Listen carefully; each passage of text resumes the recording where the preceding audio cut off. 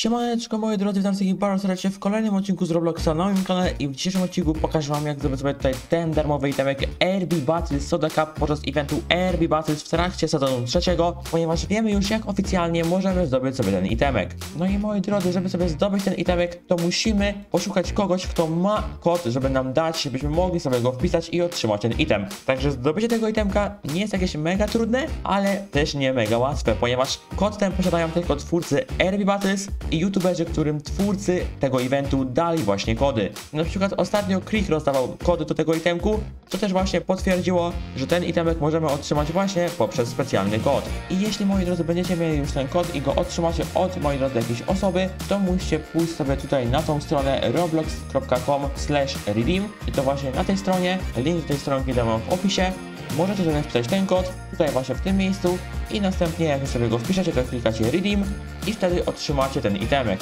Czyli ten itemek można zdobyć sobie dokładnie tak samo, jak to było w ubiegłym sezonie, podczas sezonu drugiego z, moi drodzy, RB Baty z Popcorn Bucketem. Innym sposobem na zdobycie tego itemka jest tutaj, moi drodzy, wejście sobie na Twitterka oficjalnego RB Battles i napisanie tutaj swojego niku, nie display a swojego niku. Ten tweetik, moi drodzy, dotyczy RB Battles Popcornu, ale cały czas jest przypięty i być może po prostu twórcy nie chcą robić nowego pościga związanego z tym nowym itemkiem. Także być może pod tym tweetem, jak napiszecie właśnie waszą nazwę na Robloxie, wasz nick w Robloxie, to być może twórcy do was napiszą i wyślą wam w prywatnej wiadomości właśnie specjalny kod na ten itemek. Także jak wiecie, zdobycie tego itemka nie jest jakieś mega trudne, wystarczy sobie po prostu wpisać kod, ale już zdobycie tego kodu jest troszeczkę trudniejsze. I to właśnie na tym polega trudność zdobycia tego itemka. Ja moi drodzy mam oficjalnego testera RB Battles, także postaram się z nim skontaktować, być może uda mi się od niego moi drodzy uzyskać jakieś kody, także być może ja też otrzymam takie kody i jeśli tak, to będę wam je rozdawał.